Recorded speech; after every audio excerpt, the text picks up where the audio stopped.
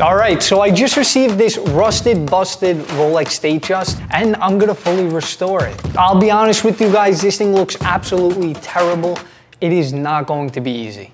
So right off the bat, I took a look at this style. Looks absolutely insane, but it's telling me that there is a hell of a lot of work behind this case back. So within about two seconds, I realized why this watch actually took in some liquid, and that's because the tube on the case is actually stripped. Crown couldn't tighten down, and it was no longer waterproof. Make sure your crown is tight, tight, tight before entering any type of water. So the story behind this watch is one of my Instagram followers actually sent me a DM. He had this bit of a project. This was his grandfather's daily worn watch. I mean, this man, as you could see from the video, he wore it every single day, doing absolutely anything with it. It's what a Rolex is, it's a tool watch. Unfortunately, somewhere in its life, it took in some water. I don't know if this came from a lake, a pond, an ocean. Luckily, it wasn't that bad. A lot of these parts were salvageable, but ultimately, a lot of things had to be replaced.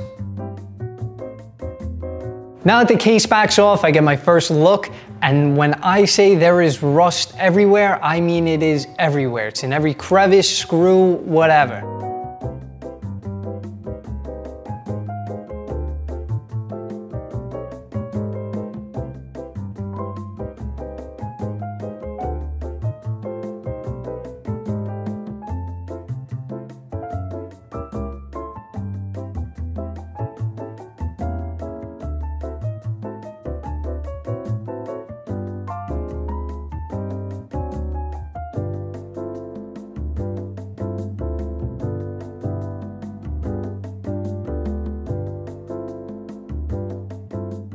So it's very important that I take this watch thoroughly apart, piece by piece. Everything needs to be cleaned individually so I can see what's salvageable and what I need to replace.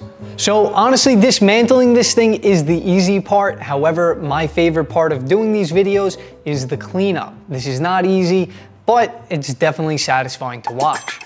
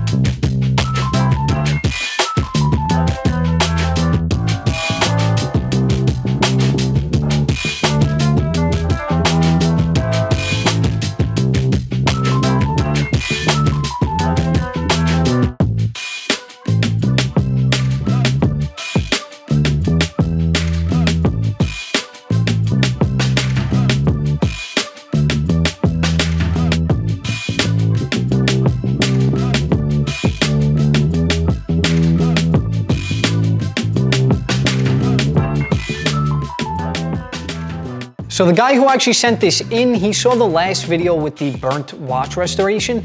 And I pretty much offered him the same thing. I said, let's reuse the same dial, has a little bit more sentimental value. I think it adds a bit of character.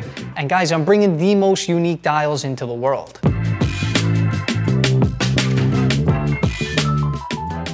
So I did a ton of cleaning off camera, got it to the point where I'm now satisfied and I could throw this thing back together. Guys, I know you freaked out last time. Yes, I am using the proper lubrication all over this movement. I didn't go through this much trouble not to use oil.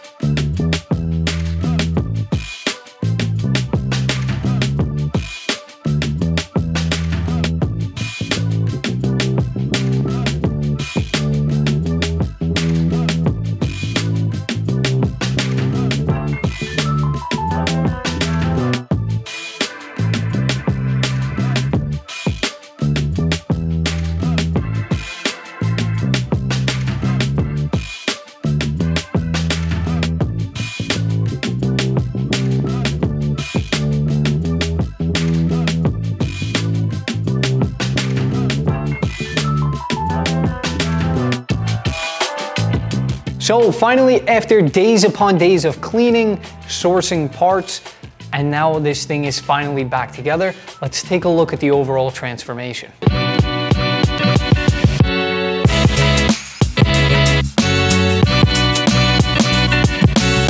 Guys, once again, do not forget to like, comment, and subscribe. If you guys have a crazy story, a crazy watch that's in some dire need of repair, feel free to shoot me a DM. Maybe you can make it on the channel.